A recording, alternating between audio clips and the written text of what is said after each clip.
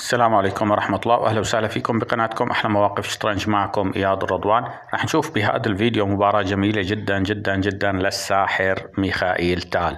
لكن قبل ما نشوف المباراة خلينا نشكر داعمي القناة والمنتسبين للقناة واللي عم يدعموا القناة بميزة شكرا. طبعا بفضلهم فقط عم تستمر هاي القناة. ومنوه إنه صرنا نعمل بطولة تقريبا كل أسبوع. راح يكون بطل هالبطولة هو بطل القناة لمدة أسبوع وبطل هذا الأسبوع هو اللاعب على منذر من سوريا. أخذ البطولة نهار الخميس اللي عملناها. فإذا بتحبوا تشاركوا بالبطولة إن شاء الله راح تكون نهار الجمعة أو الخميس حسب وراح نختار آلية لتحديد بطل القناة هيك كنوع من التشجيع. أما بطل البطولة هو اللي راح يكون مباشرة بطل القناة أو راح نعمل تحدي. راح نعمل تصويت يعني أو راح نعمل تحدي بين بطل البطولة القادمة واللاعب اللي بيكون البطل السابق حتى يكون في يعني احتفاظ باللقب قدر الإمكان. راح نشرح هاي الأمور إن شاء الله بفيديو مستقل ولكن حتى يكون عندكم صوره فإذا بطل هاي الفترة لحتى نعمل بطولة جديدة هو اللاعب علاء منذر. وإن شاء الله راح يكون في عنا تطويرات بالقناة. ممكن إنه نحكي عنها بفيديو مستقل. فإذا الآن بعد هاي المقدمة خلينا نشوف شو اللي صار بالمباراة. اللاعب الأبيض مثل ما قلنا ميخائيل تال هالمباراه لعبت عام 1956 بلينينغراد بالاتحاد السوفيتي. اللاعب الأبيض ميخائيل تال طبعا لاعب مشهور ومعروف بطل العالم عام 1960 ويعني صاحب أجمل مباريات على ظهر هذا الكوكب.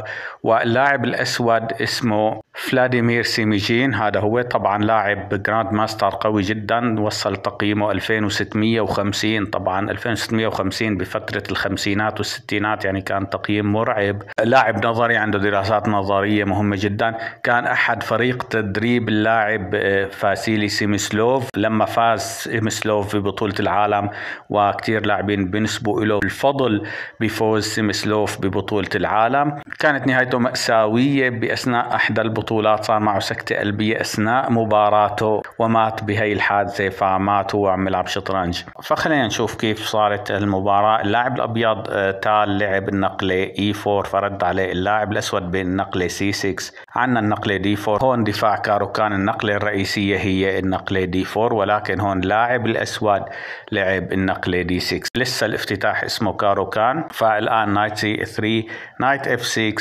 الآن عنا F4 وال queen على ال B6 طبعا الهدف من نقلة الوزير هي هو الضغط على البيدق B2 حتى نوعا ما يمنع انتشار الفيل. فالآن ال knight على ال F3 الفيل على ال G4 الفيل على ال E2 لحتى يفك ربط الحصان.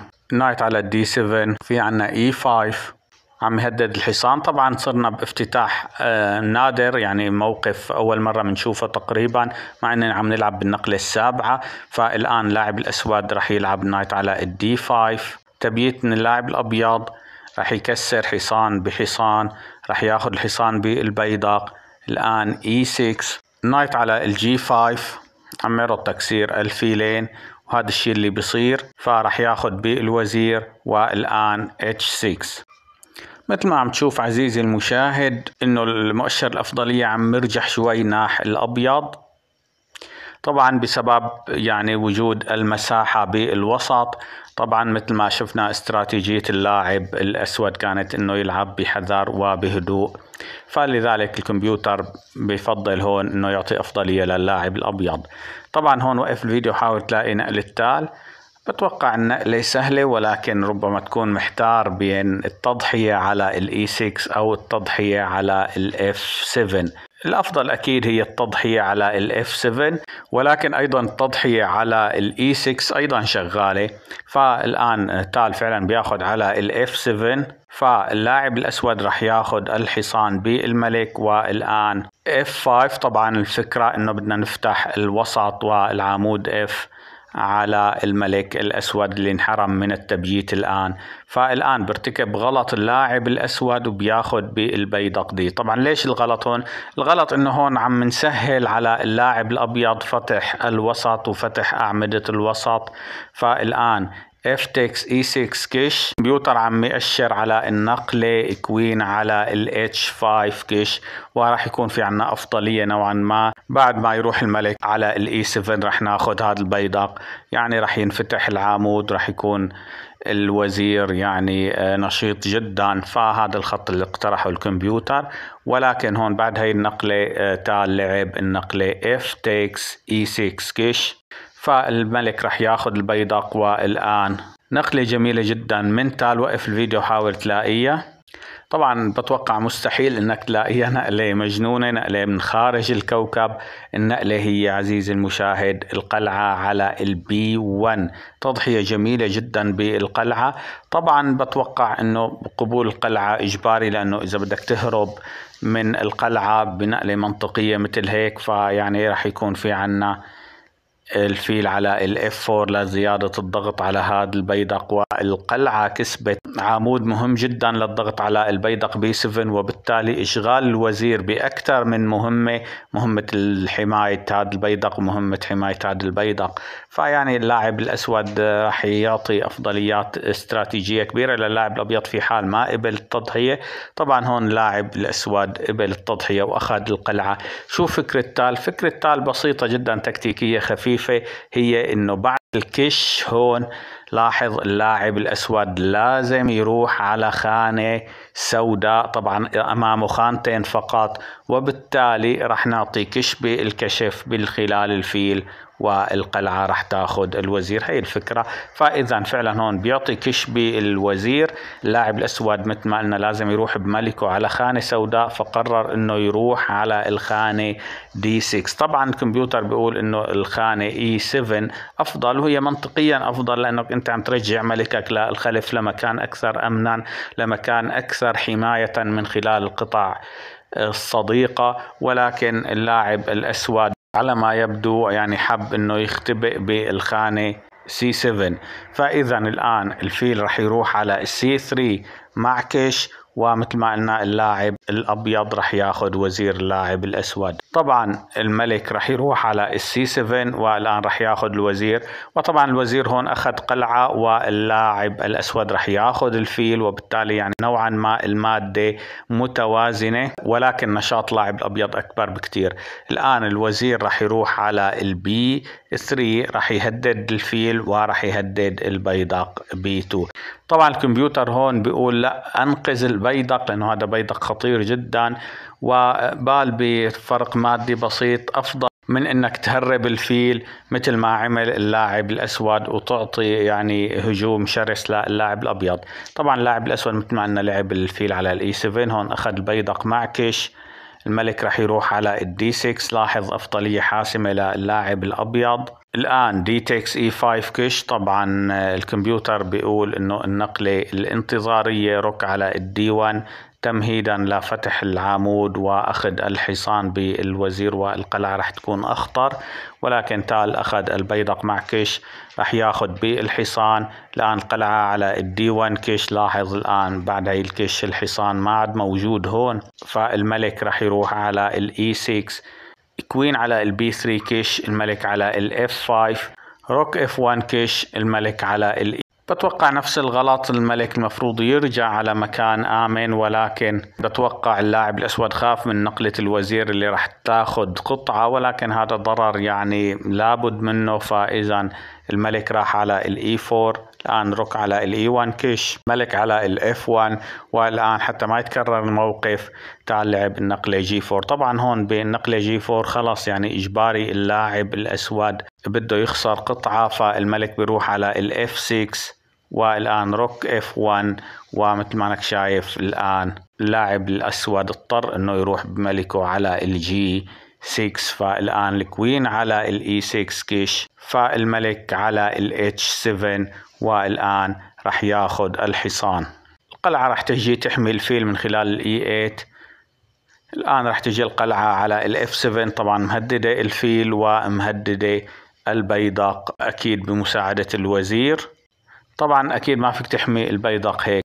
لأنه ببساطة بياخذ الفيل باعتبار إنه هذا البيدق مربوط فإذا راح يحميه من خلال الخانة F 8 queen F 5 كش الملك على ال G 8 والآن خطة تال راح تكون بالتقدم بالملك. للمساعدة بالهجوم باعتبار إنه ما عنده قطع كافية للتأثير على اللاعب الأسود ففعلا بتقدم بالملك على ال F 2 الآن C 5 كيش لاحظ لاعب الأسود عم يساعده الملك على ال G 3 القلعة على ال E 3 كيش الملك على ال H 4 والآن القلعة على الاي 8 لحتى يزوج القلعتين ويحموا بعضهم. واللاعب الأبيض نوعا ما عم تتراجع أفضليته. فالآن عندنا موقف حساس جدا. لو كنت عندك خبرة تكتيكية راح تختار نقل التال بدقة. نقلة صعبة جدا جدا جدا عزيزي المشاهد. وقف الفيديو وحاول تلاقيها. عزيزي المشاهد هون نقل التال هي. القلعة راح تاخذ البيدق G 7 مع كش. ليش هي النقلة؟ لأنه إذا ما لعبت هي النقلة مثلا لعبت أي نقلة تانية فمثلا لعبت هي القلعة على ال C 7 فببساطة يعني اللاعب الأسود راح ياخذ المبادرة نوعا ما. كيش فالملك إذا اقترب. فالقلعة على ال F 8 لاحظ يعني عم نضغط على الوزير واللاعب الأبيض. ما عنده كتير هجوم يعمله والكمبيوتر بيقول الموقف متعادل والموقف صعب على اللاعبين.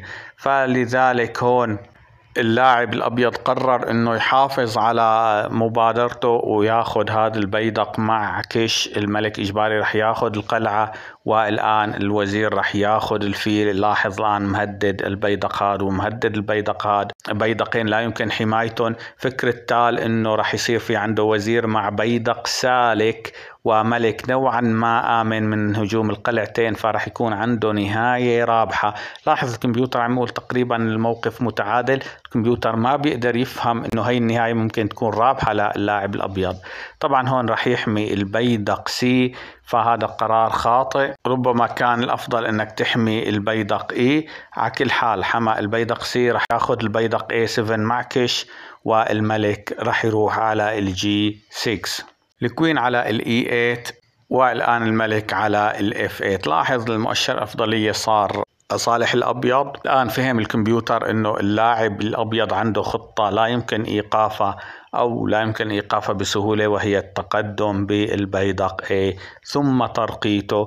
وصعب جدا هون أنك تتعامل مع هالتهديد هذا ففعلا اللاعب الأبيض بيتقدم بالبيدق A4 اللاعب الأسود عم يلعب شبه جنون بخطة. هلأ رح نشوفها خطة يعني بدائية جدا. اللاعب الأبيض بتابع بتقدم البيدق واللاعب الأسود بتابع بخطته بالملك على ال D 5 الآن queen كيش الملك راح يروح على ال E 4 واللاعب الأبيض بتابع بخطته خطة واضحة وصعب إيقافها نظرا لأنه القلعتين يعني نوعا ما يعني نشاطهم جدا محدود مثل ما أنك شايف فصعب إنهم يجوا على العمود تنتيناتهم لحتى يضغطوا على البيدق وياخذوه ما راح يكون معهم وقت ما راح يلحقوا. فالآن الملك على ال F 3 والبيدق A 7 والترقية صارت أكيدة. اللاعب الأسود بتابع بخطته. وهي النقلة على ال E 2 طبعا خطة اللاعب الأسود خطة أم الخمسة خطة من سوق الجمعة. فكرته إنه إذا بيرقي اللاعب الأبيض لوزير ببساطة راح يكون في عنا كشمات. كانت خطته إنه يتقدم بالملك ويحصر ملك اللاعب الأبيض لحتى يعطي كشمات أو يحطه تحت ضغط. ولكن أكيد يعني خطة مثل ما قلنا خطة بدائية جدا. تال هون راح يلعب النقلة queen على ال D 3 كيش. راح يغطي بالقلعة فببساطة تال راح يبسط الموقف ويكسر وزير بقلعة. فهون طبعا بيستسلم اللاعب الأسود. طبعا لأنه إذا أخذ الوزير راح يكون في عنا ترقية لوزير وأفضلية مثل ما قلنا حاسمة للاعب الأبيض. مباراة جميلة. شفنا تال عم يلعب على النهاية. شفنا يعني أهم خطوة بتوقع هي كانت تبسيط الموقف هون للحصول على نهاية رابحة. نهاية بيادق نهاية وزير ضد قلعتين مع بيادق فيعني مباراة فيها تضحيات فيها لمحات تكتيكية ولمحات استراتيجية جميلة جدا بين عملاقين من عمالقة الشطرنج السوفيتي. إن شاء الله يكون عجبكم الفيديو لا تنسوا الاشتراك بالقناة. نلتقي مجددا بإذن الله. والسلام عليكم ورحمة الله.